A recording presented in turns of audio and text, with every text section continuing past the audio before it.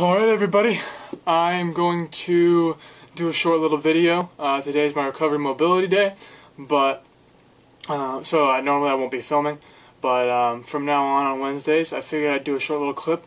I am working on doing a crane to handstand, and um, so I'm just going to show my progress over the weeks. Right now I'm between not being able to do it at all and being able to do it.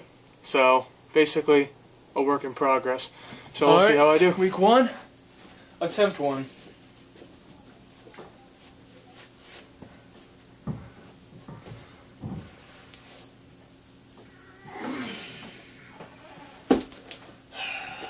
It's really the balance part's getting me. I'm actually starting to build the uh, shoulder, the shoulder strength and the uh, the arm strength, but my balance still is uh, pretty shaky trying to get up into it.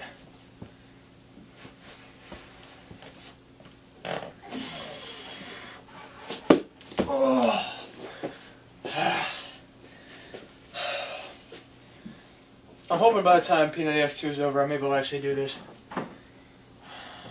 I usually just come down here and try this until I run out of shoulder strength, and then I can't do it anymore because I just can't get up and do it.